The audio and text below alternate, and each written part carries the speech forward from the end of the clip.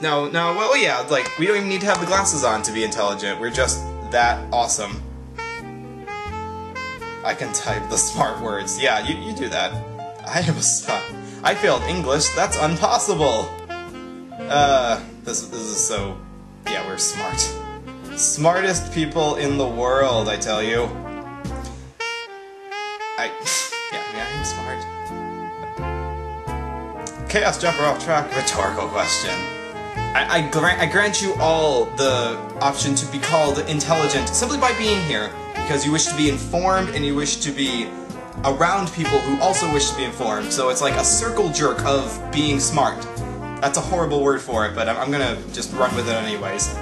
So, as far as smart people go, of course, smart people follow the news, and the smart people of the cartoon world follow the cartoon news. So, what do you say we jump into the news of cartoon for the past week? Because, let me tell you, we've had some very bad news for the past couple of weeks as far as cartoons go. So, let's have some good news. Yes, we can finally have some good news for the things that have been happening in cartoons recently. Not a whole lot, but uh, it slightly step up, slightly. Um, I guess you can be the judge of that after this whole thing.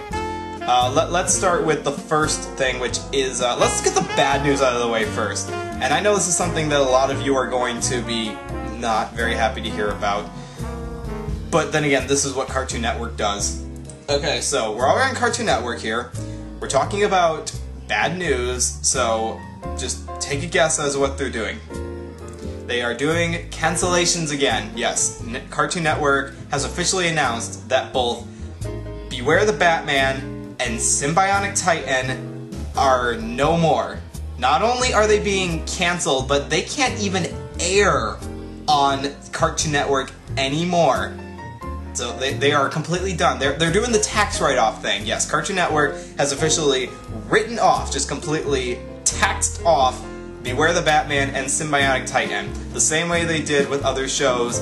Uh, most prominently, they did it with Megas XLR, where show just wasn't doing it for them, just wasn't getting the viewings they wanted, so they figured instead of keeping it in syndication and letting people watch it, they're just gonna write it off as a as a tax tax way. Like you can write off a show that did not do so well and say, I'm just not going to air the show anymore. Again, just no taxes. taxes. Just write it off as taxes. So, the very last the very last time you will be able to see these shows is this Saturday, where Toonami is actually going to marathon the last seven episodes of Beware the Batman, and is going to what are they doing? Are they doing anything for Sym-Bionic Titan? No, actually no. They're they're just airing the last episodes of Beware the Batman this Saturday. So from 2.30 to uh, 6 a.m. Eastern Standard Time, obviously. And that that's it. That's the last time you'll ever see those shows. You will have DVD releases, and I'm pretty sure iTunes will have it up for viewing, so it's not like you will never be able to see the shows again. But if you relied on cable networks to kind of get your source for cartoons, bid goodbye on this one because you'll never get those two ever again. And Miss Kitty never liked Megas XLR. It's not for everyone. I, I like. I actually was not the biggest fan of, of um, what is it, um, of Young Justice, honestly. Uh, I mean, there are just some shows that don't do it for everyone. Megas XLR is not one of them, but we'll still forgive you in this regards.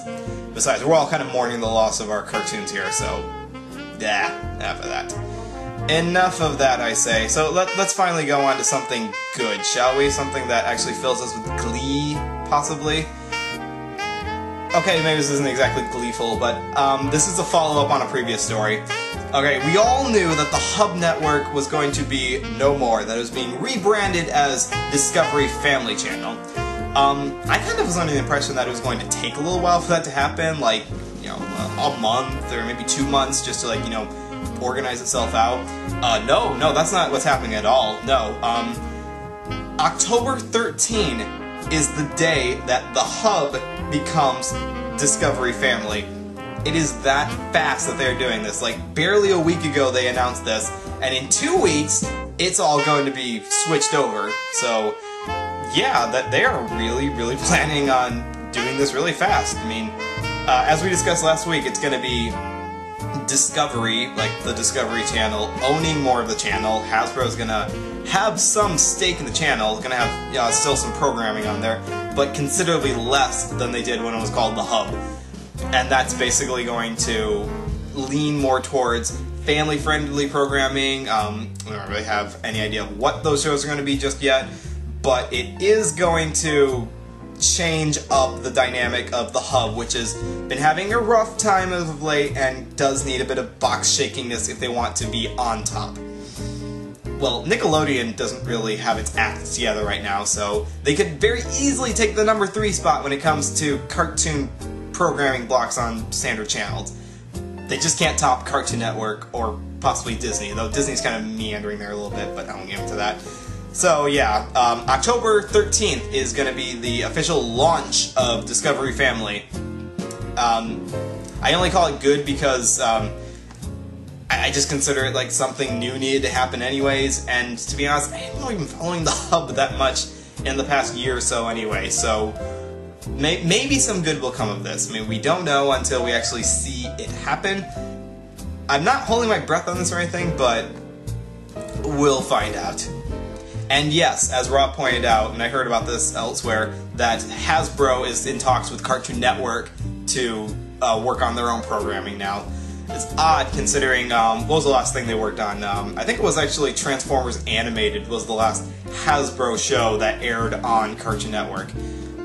I'm not so sure how the relationship is going to be after that, but Hasbro, you know, is not making any money. I mean, it's not like any of their franchises are part of a multi-trillion dollar movie deal nowadays. I mean, yeah, they they're just flat broke right now. They've got no money. Yeah, no, it's not true at all. Yeah, it's gonna be um, whatever Hasbro decides to do from this. It's probably gonna be shifting further away from the hub or Discovery family now, and this is just gonna be where we're going. So maybe it'll be good. We still have to find out fingers crossed though that will be good. So maybe we can get some good news here after all. Let's uh, let's shift over to um, something that some of you might enjoy. Um, how many of you, and this is a genuine poll of your tastes, how many of you remember a show called The Winx Club? W-I-N-X Club. I'm hearing the crickets chirp as some people, yeah, say, I recall it, I've heard of it, I didn't really watch it is the thing. I'd, Itchy would rather just not would just not mention it at all. Um, it was an Italian show. I, have learned this recently, and it was a little um, odd that I didn't even know Italy made cartoons, but apparently they do. Oh yes, apparently they do. And in fact, they make this one so well that it's actually getting a spin-off. Yes, the Winx Club is getting a spin-off. And guess who's backing this one? Netflix. Yes, in Netflix's attempt to be a competitor in the cartoon creating world, and after they've greenlit like 20 remakes, which I, I really like, they've greenlit a Magic School Bus remake, they've got a bunch of remakes in the works, they decided this was one well worth remaking, I guess. So, yeah, Winx Club WoW, which does not stand for World of Warcraft, it actually stands for, get this, World of Winx. And I, I uh, anyways, yeah, that's a new show. It's going to be made for um, uh, for Netflix, and it's planning to be made in spring of 2016, or that's when it's going to be um, airing, basically, or streaming, I guess. I mean, I don't even know if we'll have televisions by 2016.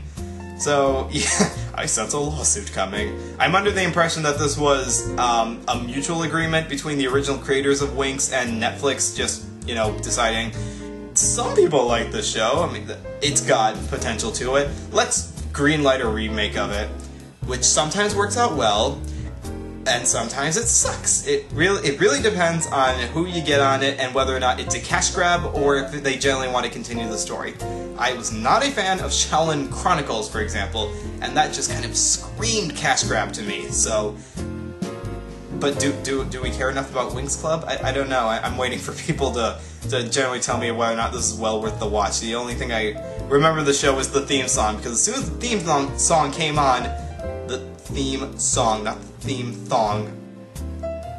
I will punish myself after this.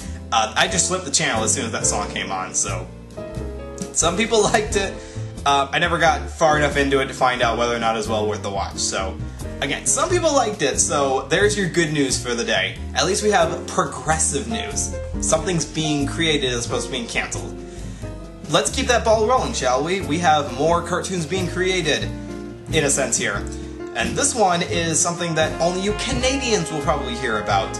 It has come to our attention that yes, Canada is a pioneer in keeping their shows going, and fortunately they got some taste because they finally canceled Johnny Test, which needed to happen a long time ago. But anyways, they are continuing some of their other shows.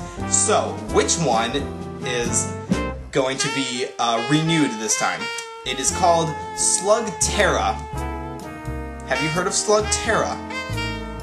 It is a very awkward title to say, um, and not that the show itself is any more or less interesting by just the sound of it by itself, but yes, you have heard of Slugterra, and this show is getting a third season. Yes, has recently come to news that the company Nerd Corps, who animates the show for Canada, has greenlit 13 more episodes for this quote-unquote hit series.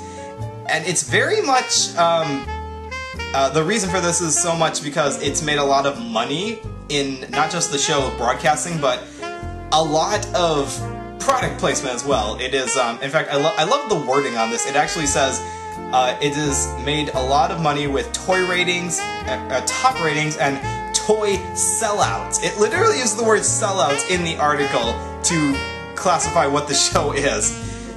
Yeah, so, um, third season of that coming out there. And again, if you've never seen the show itself, um, just just know that um, its success is mostly attributed to it being a male demographic show about slugs and action. Like, the, you know that one Tiny Toon episodes where they mock Teenage Mutant Ninja Turtles, but instead they call it Super Secret Samurai Slugs, something like that? Um, this is basically that. Um, it is um, slug superheroes you slug superheroes. There are worse things you could have turned into superheroes, and I'm again I'm trying to be um, uh, impartial to this because I have not seen the show. I don't have a desire to, but it's obviously not targeted towards my demographic anyways. But yeah, third season of that coming out. So keep an eye out for that, you lucky Canadians and anyone else who might be in the area where it's being um, produced, I guess yeah, let's let's go with this. Let, us slug episodes. Let's keep this going. Again, I'm trying to be unbiased about this. And so um, th that's all things being created here. And interestingly enough, I just realized all of our stories are like from all over the world today. We've got Italian animation, we've got Canadian animation, we've got American animation. Just again, we're all over the place. I, I will not bring my I will not bring my pretty wife on the stream because she is too pretty for the likes of people who are buzzed. I only bring sober people around my wife. She is a delicate flower and I want to keep her well protected.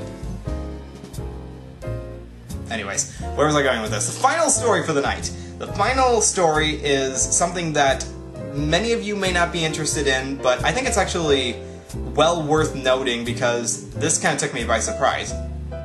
Alright, so I remember last week we were talking about Mexican animation because they're making that new Top Cat movie that's basically um, Mexico making their own version of Top Cat. And I mentioned I didn't even know that Mexico had an animation department, or rather, much of an animation studio, as it were. Uh, turns out I was kind of wrong and a little bit right at the same time. Going on right now, um, this is something that's happening from last Wednesday all the way to Sunday, there is actually an animation festival going on in Mexico right now. It's uh, called, it's run by Pixelatl. I'm trying to group the letters there together as they're written, I apologize. And basically what they're doing is they're trying to get funding for government-funded film projects, basically. They're, they're looking for, um, yeah, grants and funding to make movies in Mexico, and a good part of that is the animation that they're uh, their animation. Because Mexico does not have a lot of animated films to their canon. I, I looked this up. They often do work for other places, like some of your cartoons you've watched could have had work done, like just small bits of the work done in Mexico. and most of but most of their works are not their original creations. They are mostly outsourced to other countries. The only ones that I've noticed before are the Top Cat one, and they've also done some um, capture motion films as well, the kind where you film the actor with a lot of um, sensors on them, put it into the computer, and use that as the backbone for your animation, basically. So the reason for this being going on is basically apparently it is the biggest animation festival in Mexico, and they are trying to get people to fund Mexican animation, like original Mexican animation. So yeah, that's something that it, it interests me because we are seeing all countries of the world now getting into the animation field. Ireland, Italy, Canada, Hungary, Denmark, Australia, uh, Japan, obviously, China, Korea. Mexico's getting in their, their hat in the ring now, so yeah.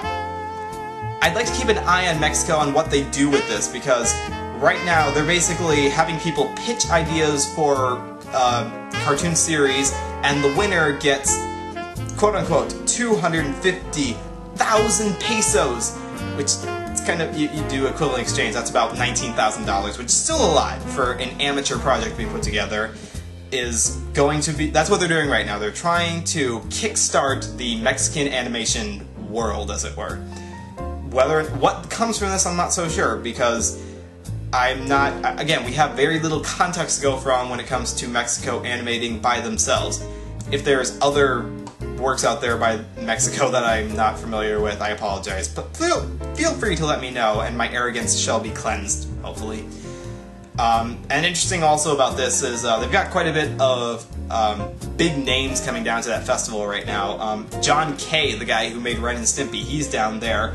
We got people who've worked on Gorillaz, and we've had uh, people who've directed stuff for, uh, what was it, uh, for video games um, and the supervisors for uh, the upcoming Book of Life movie. Um, just lots of people working to try to, I suppose, kickstart the animation of Mexico. It's just something to keep an eye on there. So if you're a hardcore cartoon nerd, like myself, then this is something you want to keep an eye on. And if you just want to wait until you actually see a finished product, then we'll keep you informed on that as well. But yeah, Mexico, getting into the cartoon world, we will dominate the world. The revolution of cartoons has to begin with every country jumping in on the bandwagon. So let's get in on this. I mean, did you know Brazil makes cartoons?